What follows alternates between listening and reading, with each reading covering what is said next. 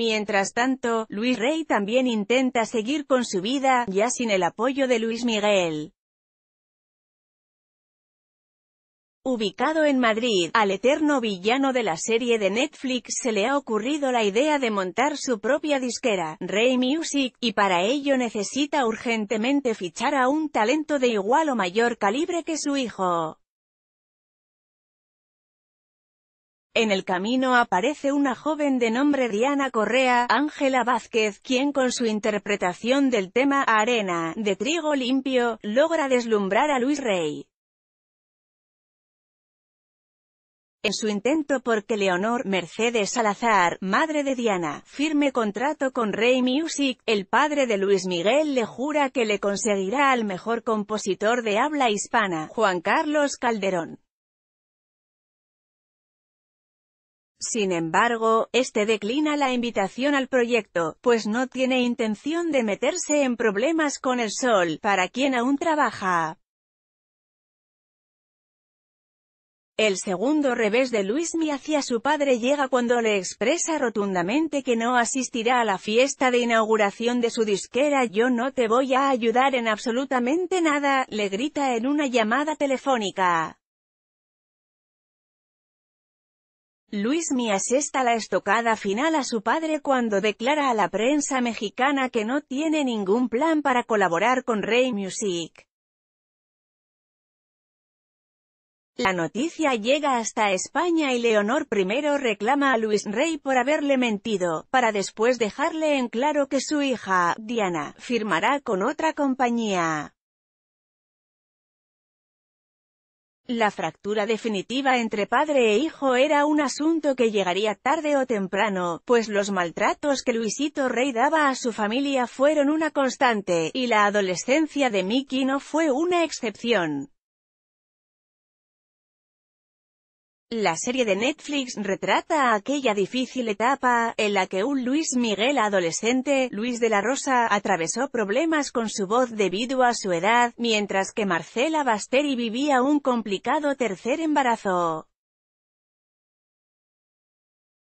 Si ya antes había pedido a un médico recetar efedrina a su hijo para que rindiera más en el trabajo, ahora Luis Rey no presta atención a la recomendación de un foniatra para dar a Mickey un año de descanso, con el fin de no dañar sus cuerdas vocales.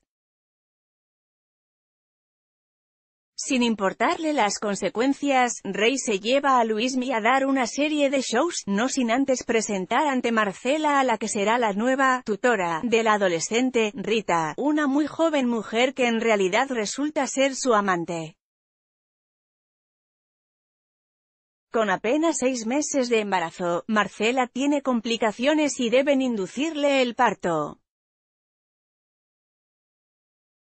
En pleno hospital, la madre de Luis Miguel intenta comunicarse con su marido, pero quien responde el teléfono es Rita, que no sabe cómo explicar por qué se encuentra a las 11 de la noche en la recámara de su esposo.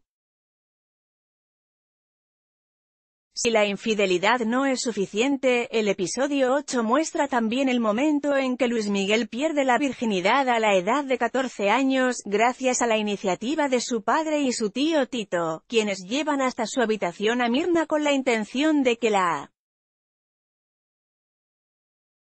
mujer y el adolescente tengan sexo, las mujeres son complicadas, asegura después Luis Rey a su hijo, a manera de preámbulo para pedirle que le mienta a su madre y le diga que Rita tuvo que darle clases a altas horas de la noche porque su show terminó muy tarde. A su regreso a casa, y con su madre en cama, Mickey obedece a su padre y oculta la infidelidad. Si bien las villanías de Luis Rey destacan nuevamente, lo cierto es que el romance entre Luis Miguel e Isabela Camil se lleva al capítulo.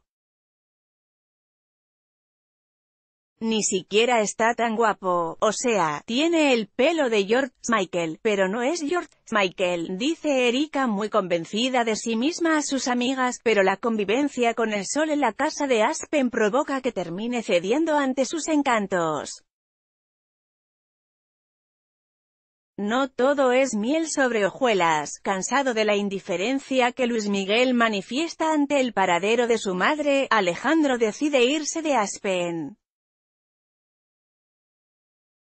El cantante también tendrá que irse días después, por un lado, Jaime le ha prestado el dinero que le hace falta para saldar su deuda con Hacienda y por otro, el coqueteo con Erika ha provocado preocupación en su padre, quien le pide al cantante no lastimar a su hija.